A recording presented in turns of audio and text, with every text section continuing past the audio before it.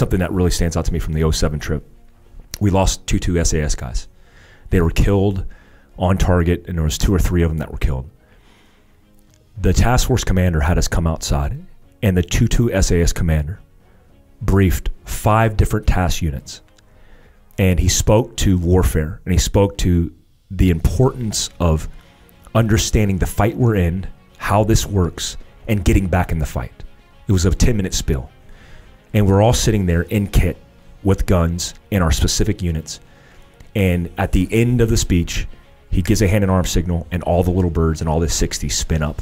And we load five different task forces up in little birds and MH-60s and fly away and smash bad guys. That whole experience was what the task force was. Um, depending on what unit you were, um, you might have that experience. But if you're in task force, that was the experience every night.